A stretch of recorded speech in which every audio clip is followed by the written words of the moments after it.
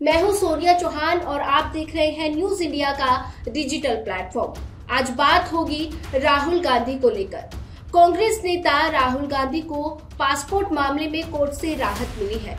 दिल्ली की Rouse Avenue court ने राहुल गांधी को तीन साल की एनओसी दी है। हालाँकि राहुल गांधी ने कोर्ट से 10 साल की एनओसी की मांग की थी, लेकिन सुब्रमण्यम स्वामी ने उनकी मांग का विरोध करते हुए सिर्फ़ एक साल की एनओसी की परमिशन देने की बात कही थी।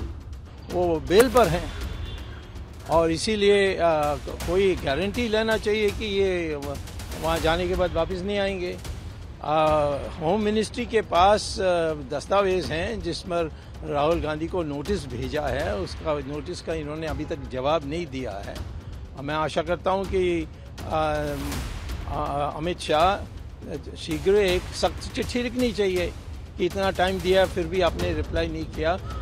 उन्होंने एक कंपनी चलाई थी लंदन में और उसमें उन्होंने डिक्लेयर किया ब्रिटिश गवर्नमेंट को कि वो ब्रिटिश सिटीज़न है।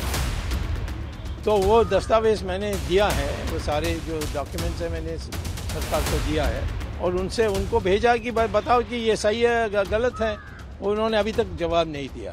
तो वो वो भी है लेकिन इनका जो अभी बाहर जाना है कोई छोटा मोटा कार्यक्रम के लिए जा रहे हैं आ, वो जाने दीजिए परंतु उनको वापस आने के लिए गारंटी होनी चाहिए। और दूसरा है कि आ, वो जिस समय समय लेकर चलते हैं, उसी समय के अंदर वापस आनी चाहिए।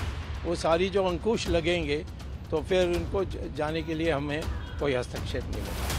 आपको बता दें कि संसद की सदस्यता जाने के बाद राहुल गांधी ने अपना डिप्लोमेटिक पासपोर्ट सरेंडर कर दिया था। नेशनल हेराल्ड मामले में नाम होने की वजह से राहुल गांधी को साधारण पासपोर्ट जारी कराने के लिए कोर्ट के एनओसी की ज़रूरत है। राहुल गांधी ने अपनी याचिका में कहा कि नेशनल हेराल्ड मामले में जमानत देते वक्त कोर्ट ने उनके देश से बाहर जाने पर रोक नहीं लगाई थी। गौरतलब है कि कांग्रेस नेता राहुल गांधी 31 मई को एक हफ़्ते के लिए अमेरिका दौरे पर जाने वाले हैं। इस दौरान वो 4 जून को न्यूयॉर्क में भारतीय समुदाय को संबोधित करेंगे। साथ ही राहुल गांधी एक कैलिफ़ोर्निया की एक यूनिवर्सिटी के इवेंट में भी शामिल होंगे। राहुल गांधी को तीन साल की एनओसी तो मिल गई।